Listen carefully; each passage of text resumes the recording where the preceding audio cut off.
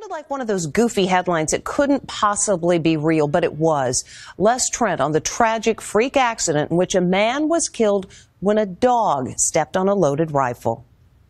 Dog bites man. You see headlines like that all the time. But dog shoots man?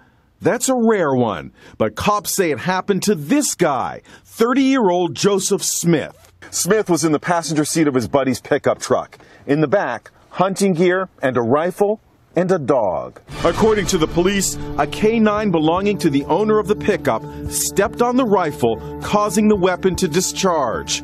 Smith was fatally shot in the back. It's not known who owned the gun. His friend is absolutely beside himself. Chris Brown is Smith's boss at a plumbing business in Wichita, Kansas. He says this photo shows Smith with his own beloved dog, Ruger. How do you process losing somebody that close to you in circumstances this bizarre? So bizarre. I don't quite understand why we would ever lose Joe in such a strange way. Smith's family is outraged that the circumstances of his death are leading to some insensitive commentary on social media. Did the dog have a hunting license also? goes one snarky remark. And this I believe the dog had been planning this for some time. To any of those people, I would say shame on you. A GoFundMe account has been set up for the dead man's family. We've got details on that over at InsideEdition.com. This is the book of Luke, chapter 1, verse 37, and it reads this For with the Most High, Yahweh, Bahashim Yahweh Shai, nothing shall be impossible. Koholayim La, Albanawa, Yahweh, Bahashim, Yahushai, Bahashim, Rakak Radash. Double honors to the elder apostles and elder bishops of Great Millstone who rule well. Salutations to the Achaim out there on the highways and the byways. Salutations to the hopeful elect. Salutations to you speckled birds, you Israelite foreigners. And shalom to the Akwaf, sitting and listening in silence as the scriptures say to do so. Luke chapter 1, verse 37, and it reads this For with the Most High, Yahweh, Bahashim Yahweh Shai, nothing shall be impossible. And as you see, man, you know, this may be this may seem and be unbelievable to the carnal minded, but to us, of this truth, of this faith, of this belief, of this trust, of this fear of Yahweh Ba'ashem Yahweh Shai, we know that all things are possible, man. And this was judgment by Yahweh Ba'ashem Yahweh Shai. And you know, Esau loves that sword, man. And what what what was Esau and his buddy about to go do? Hunting. The Lord had had this set up and so calculated to to to put this cave gorilla to death by the hands of a dog, man.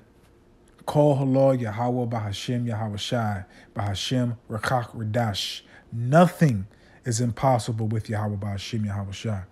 Let's continue. And it's going to be quick and straight to the point. I ain't going to dig too deep. But this is the book of Ecclesiasticus, also known as Sirach, chapter 39, starting off at verse 28, and it reads this There be spirits that are created for vengeance, which in their fury lay on sore strokes.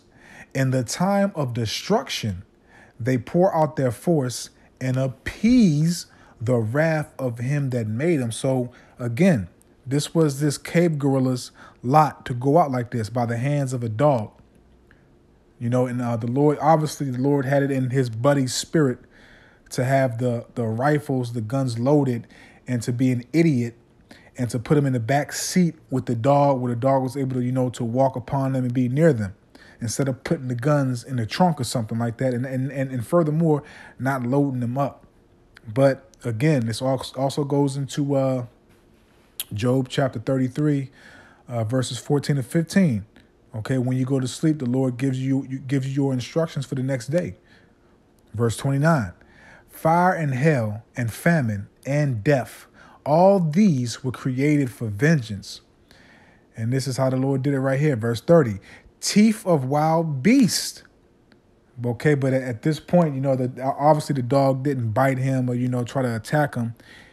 The Lord just had his owner do it the way he did it and had that dog come about and had that that that uh, uh, rifle, that gun, whatever type of uh, weapon it was, whether it was an AR or a shotgun or whatever the case may be.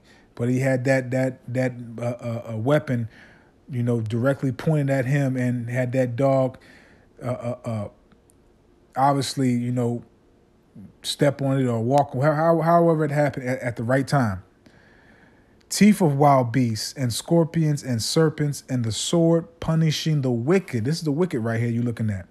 This is the a child of the wicked, punishing the wicked to destruction. They shall rejoice. So the spirit that Yahweh Bashim Yahushua put on his buddy and the dog is rejoicing. They shall rejoice in his commandment, and they shall be ready upon earth. And the phone is chiming in on it.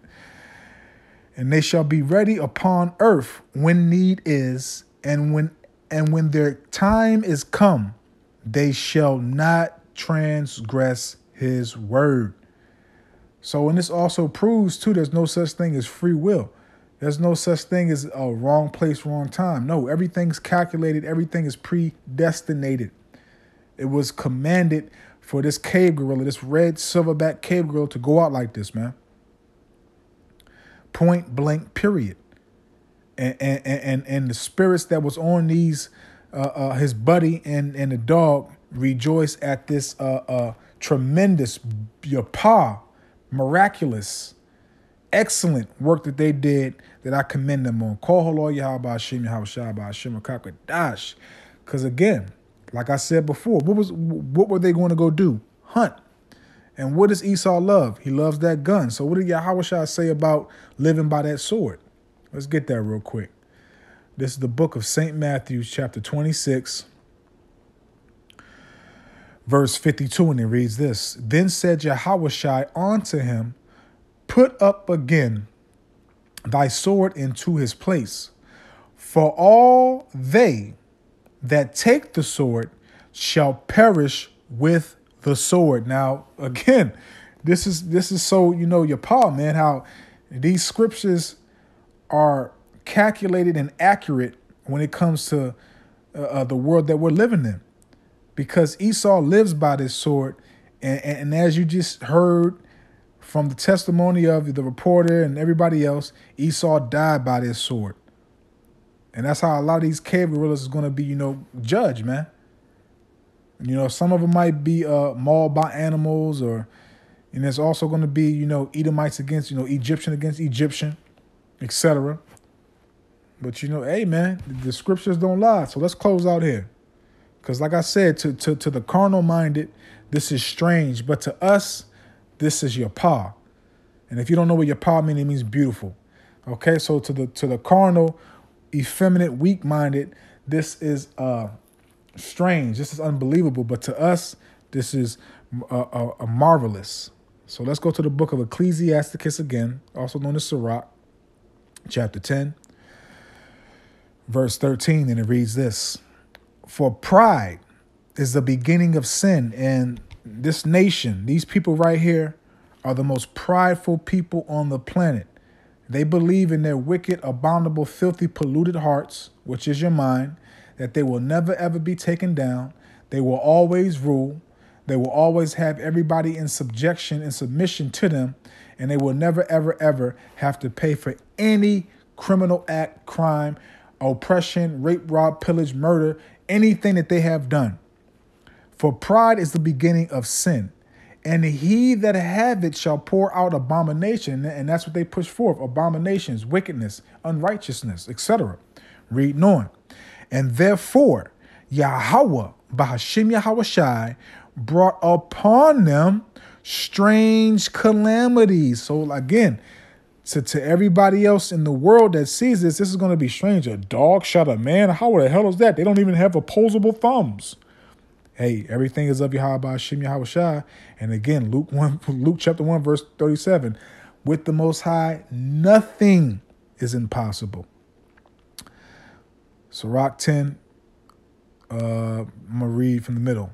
And therefore, Yahweh, Bahashim Yahweh Shai, brought upon them strange calamities and overthrew them utterly.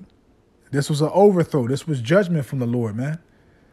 And you know, he, he, this is this is only the beginning of this nation and also this man right here's judgment, because he's going to go through hell in the in the uh, in the kingdom. And as a matter of fact, right now, through the name, through the power, through the power and spirit and name of Yahweh Shem Yahweh I claim that cave gorilla for my plantation. Cause he this this is only the beginning, man. Cause when he when he when he comes back, when he's reborn back into the kingdom, psh, he gonna wish he ain't never ever came back. So we gonna leave it right there, man. And again, man, it may be strange to everybody else, but it's it's marvelous, it's beautiful to us because the Lord has enlightened us. He has awoken us up to his good pleasure and to what's going on into this knowledge, wisdom, and understanding this truth. So, Lord willing, I hope and I pray that this is edifying and uplifting to the truth and say Aki and Akwaf. So, with that, I'm just going to say, Shalom. Are leading to some insensitive commentary on social media. Did the dog have a hunting license also? Goes one snarky remark. And this, I believe the dog had been planning this for some time. Hey yo, Salaki, I know I said that was it, but hey yo, hey yo. planning this for some time. Been planning this for some time. The dog had been planning this for some time. Hey, it was Yahweh Shem Yahweh planning this for some time. And it was predestinated. Hey man. I hope I hope that was a Jake that said that, man, because that's a crazy sense of humor, man. Let's let's hear that again one more time. Salakia. I almost forgot about this. This. I believe the dog had been planning this for some time. To any of those people. I believe the dog had been planning this for some time. To any of those people, I would say shame on you. A GoFundMe account.